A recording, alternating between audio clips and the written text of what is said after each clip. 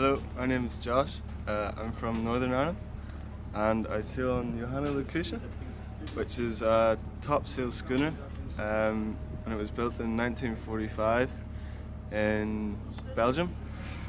Uh, it was originally built as a fishing boat and then it got turned into a sailing boat and got the masts and stuff put on it. Um, it then worked in Holland uh, as a charter boat for some time and then it went to the UK and did some work there.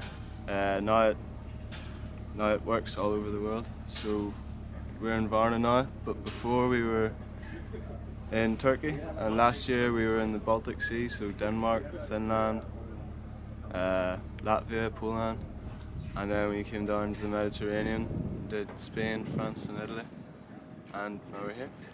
Is it your first time here? Uh, it's my first time here, yes. And for the boat? Uh, yes. And for how long you sail on this boat? Um, this is my second year, so two years. You live on the boat? Yeah. Um, can you tell me something interesting about the details uh, of the boat? Okay, okay. Uh, it's called a topsail schooner. So it's called a topsail schooner because the main mast at the back is taller than the foremast. So this one's higher than that one.